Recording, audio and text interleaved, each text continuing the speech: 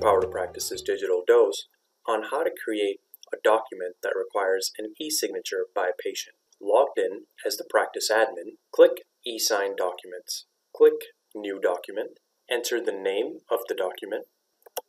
Now go ahead and fill out the contents of the document.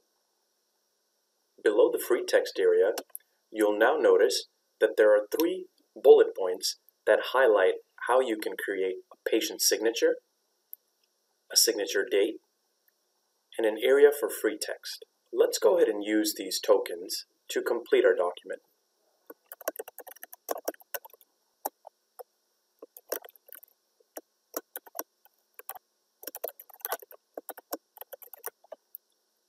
Once complete, click Save.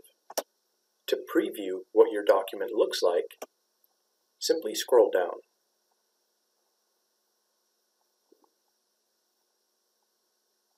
You can now make any edits as needed by scrolling up into the template and then clicking Save.